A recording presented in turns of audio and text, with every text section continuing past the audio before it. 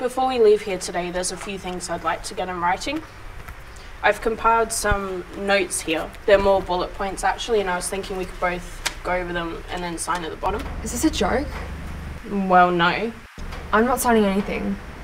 But No, this is stupid.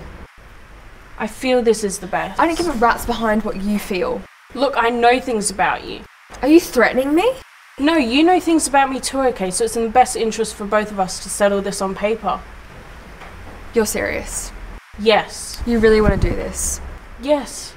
You want to add yet another layer of insanity to this whole thing. Well, I wouldn't. No, no, no. You want to do it? Fine. Let's do it. First of all, I want all my stuff back from you. Right? My Norah Jones CD, My copy of Pride and Prejudice. my green top, my magic 8 ball. You gave me the magic eight ball. I lent you the 8 ball. You just never gave it back. You never asked for it. I've had it for three years. Better late than never. Fine. And just so we're clear, I don't want you talking about me to other people. Fine. And you better not say anything about me either. Fine. You know what? I don't want you telling the Joey Feinberg story anymore. What? Why? Because it's my story. I don't care who you pick for your really good friend, but you better not bring her here. I don't know. Am I wrong? Doesn't that history mean anything to you? No, it does. I just. What? I don't know. This is hard.